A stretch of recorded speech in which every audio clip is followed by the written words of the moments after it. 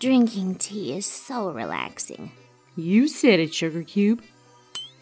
Uh, excuse me, Princess Twilight, can I have your autograph? of course. And your name is? I'm Noi. Is it true that you went on a magical mirror to another dimension? Wish me luck. Wish me luck. Everything's so strange here. What do you mean I can't pick up a book with my mouth? Sunset Shimmer is evil. I want to go home. I want to go home.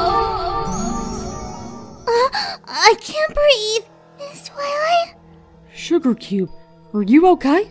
What happened? Did you see that, Applejack? An anxiety attack because of a past experience. Just like Pony Stark.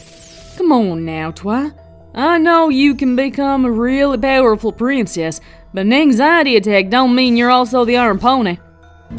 Yeah, you're right. It must be a coincidence. Miss Applejack, when and where did she even get that?